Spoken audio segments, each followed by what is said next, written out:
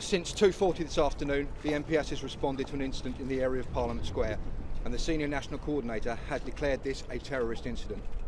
And although we remain open-minded to the motive, a full counter-terrorism investigation is already underway. Uh, this is led by the Met's Counter-Terrorism Command. At this stage, I will confirm what we know has happened, but I will not speculate. We received a number of different reports, which included a person in the river, uh, a car in collision with pedestrians, and a man armed with a knife.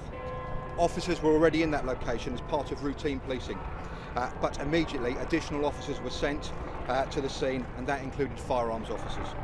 We are working closely with the London Ambulance Service and the London Fire Brigade. I'd like to repeat our request for the public to avoid the following areas. Parliament Square, Whitehall, Westminster Bridge, Lambeth Bridge, Victoria Street up to the junction with Broadway and the Victoria Embankment up to Embankment Tube Station.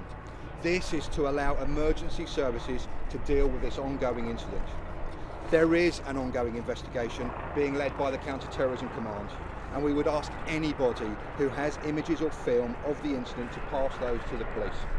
We know there are a number of casualties, including police officers, but at this stage we cannot confirm numbers or the nature of these injuries. Our response will be ongoing for some time and it is important that we gather all possible information and evidence. Public safety is our top priority and we are reviewing our policing stance across London and throughout the capital this afternoon.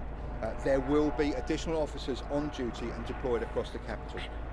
I would like the, public to remain vigilant and let us know if they see anything suspicious that causes them concern and if they do to dial 999 immediately.